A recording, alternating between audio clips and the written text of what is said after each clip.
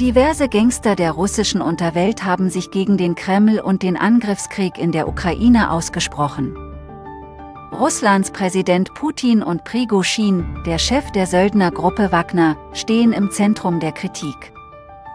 Grisha Moskowski, ein hochrangiges Mitglied einer Moskauer Verbrecherbande, warnte Gefängnisinsassen davor, sich von der Gruppe anwerben zu lassen.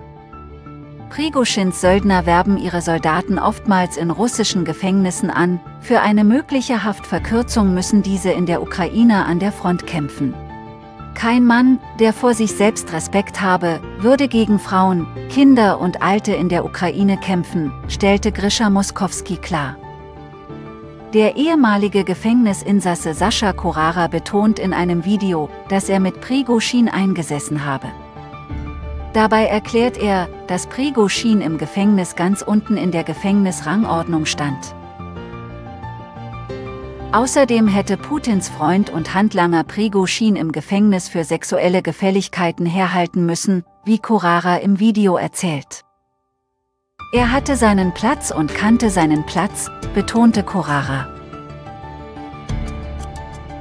Dies sei nicht nur die schlimmstmögliche Demütigung von Prigozhin, sondern auch ein Angriff auf den Kreml und die Invasion der Ukraine, erklären Russland-Experten.